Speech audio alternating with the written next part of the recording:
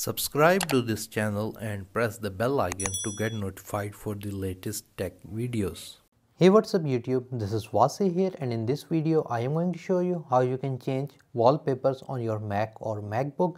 So if you're new to the Mac ecosystem and if you don't know how you can change the wallpaper then you're watching the correct video. First of all, there are two ways to change the wallpaper on your Mac the easiest way is to double tap on the touchpad and you're going to click on this change wallpaper option. The other way is basically you're going to go to the launchpad, you're going to click on system settings and then you're going to click on wallpapers.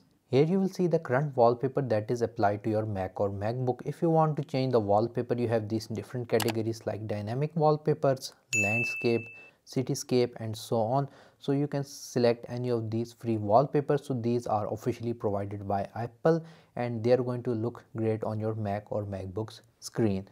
Lastly if you see this little download icon like here i have it basically means that these wallpapers are not downloaded yet.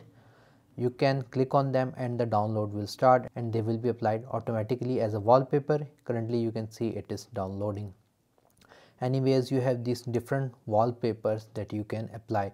If you want to apply a specific picture of your own you can also do that. Click on the add photo button click on choose. Select wherever your photos are present. In my case they are in the desktop and in the backs folder and i want to select this image one. And you can see that this image has been applied. When you have applied it make sure that in picture fill screen is selected not these other options because it is going to look a little weird lastly if you want to have multiple images being shuffled on the background you can also do that. First of all make sure the multiple images are in some folder.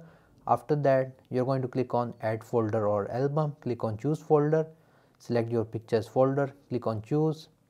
On the bottom you're going to see the folder. You're going to select the option with this change icon and from the top you can select the option how often you want it to shuffle. So you can make it 30 minute 15 5 and so on. And you can also select randomly. So if you have multiple images they will change randomly instead of being sequential. So yeah guys this is how easy it is to change wallpapers on your mac or macbook. If you found this video helpful make sure to like it. Subscribe to my channel if you have any other comments. Write them in the comment section below. And for more mac related videos you can watch them right here. That's all for today. Thank you for watching and as always stay safe